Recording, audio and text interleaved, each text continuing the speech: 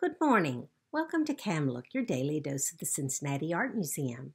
At 10 o'clock every weekday, a staff member or volunteer will be here to share an object from our collection. So join us for each new conversation. My name is Bettye, and I'm a museum docent.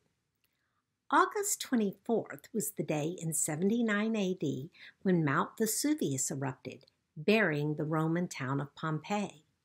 So, this is a good day to share a recent acquisition with you a view of Naples with Mount Vesuvius erupting.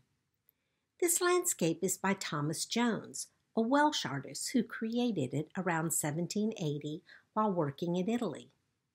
You might wonder who would want a picture of an erupting volcano. Well, in the 17th and 18th centuries, young upper class European men, particularly from Britain, took Greek and Latin in school, and learned about classical culture. As a capstone to their education, they would embark on what they called the Grand Tour travel around Europe to see classical antiquities, Renaissance art, and experience other cultures. Traveling just for the sake of learning was a new idea, and many men wanted to take home souvenirs like art, books, and scientific instruments. We think this painting was bought by such a British patron to adorn his country estate or London townhouse. You might take a selfie to remember your travels, but that wasn't an option in the 1780s. It is interesting to see what the painter emphasized the sights a traveler would want to remember. The background catches my eye first, with the hulking, smoking mass of Mount Vesuvius. The volcano was active throughout the 1700s and must have been quite a sight in Italy's hot summer sun. After you marvel at the volcano, you might next notice the city and Bay of Naples in the background.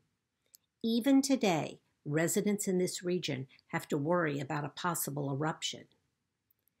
Then finally, your eye is ready to look at the small details, which I've enlarged for you an exotically clothed family going down a trail, two women on a balcony on the right, and the Bourbon Palace of Capodimonte, now a great art museum on a hill overlooking the city. Thomas Jones's work represents a progression in landscape painting. He looks back at the atmospheric light-filled vistas of the 1600s, like this one by Claude.